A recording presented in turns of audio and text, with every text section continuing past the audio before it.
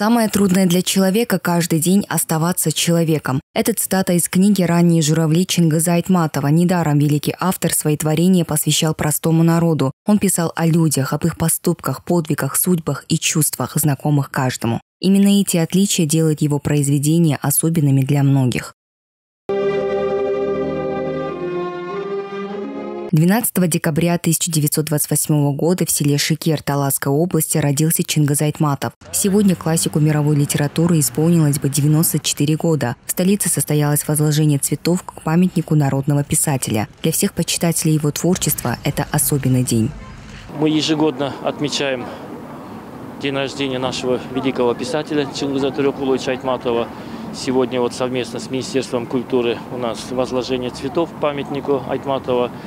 Э, ежегодно э, в программе школьного образования, вузовского образования мы э, преподаем учащимся и студентам вузов произведения Айтматова, пытаемся до учащихся донести вообще всю философию тех произведений, которые написаны нашим великим Айтматовым.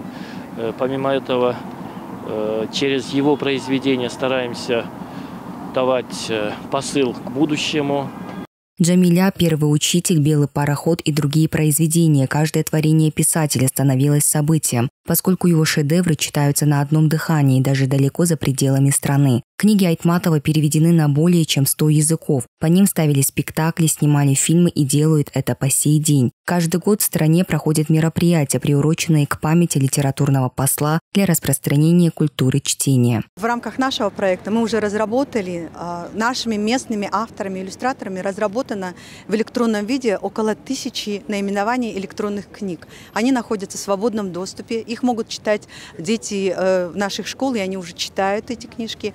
Эти книжки на четырех языках, на кыргызском, русском, узбекском и таджикском языке. И э, в скором времени мы планируем издание этих книжек и распространение в школьной библиотеке. И э, Самое главное про эти книжки хочу сказать, что они разработаны нашими местными авторами, нашими местными иллюстраторами, и тем самым мы развиваем нашу э, национальную литературу в нашей стране.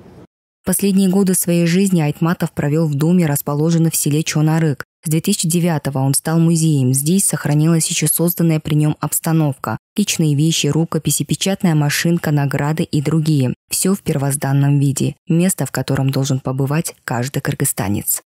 Айкануш Кадралиева, Аделет Марспеков, Пятый канал.